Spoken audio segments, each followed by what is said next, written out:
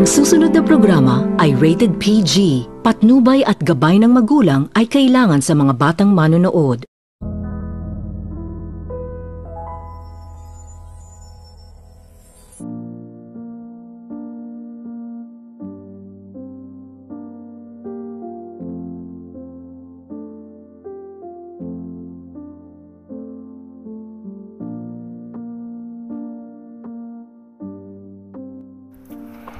Pagkatapos nitong magsumbong ni Dr. Annalyn Santos kay Dr. Tanyag ay dito agad naman nitong pinuntahan ni Dr. Tanyag ang lugar kung saan ito nakikita ang kanyang anak, ang kanyang ina na mayroong kasama na ibang lalaki.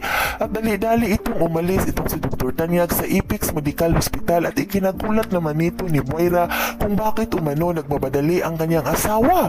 Sa kadahilanan na agad naman nitong sinundan ni Moira ang kanyang asawa na si Dr. Tanyag at dito ikinagulat naman nito ni Dr. Tanyag ang kanyang nakikita dahil totoo nga umano ang mga sinasabi ng kanyang anak na si Dr. Annalyn Santos na mayroon nga umanong ibang kadit na lalaki ang kanyang ina. At ikinagulat naman nito ni Dr. Tanyag dahil ang lalaking kasama ni Lynette ay hindi umano si Michael.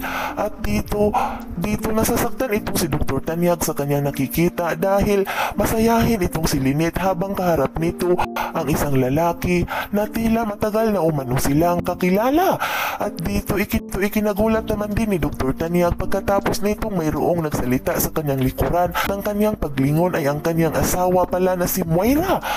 Sa kadahilanan na agad naman nitong tinanong ni Dr. Tanyag ang kanyang asawa na si Moira kung bakit umano naruroon sa kanyang kinaroroonan. At dito agad naman itong sinagot ni Moira ang kanyang asawa na si Dr. Tanyag at sinabihan nito ni Moira na nakita umano niyan nagmamadali itong si Dr. Tanyag sa kadahilanan na agad umano nitong sinundan upang malaman umano Moira kung saan umano ito tutungo. Yan ay ating aabangan sa susunod pa na pangyayari sa kaganapang ito ng abot kamay na pangarap. Huwag mong kalimutang isubscribe at i-hit ang notification bell ng aking channel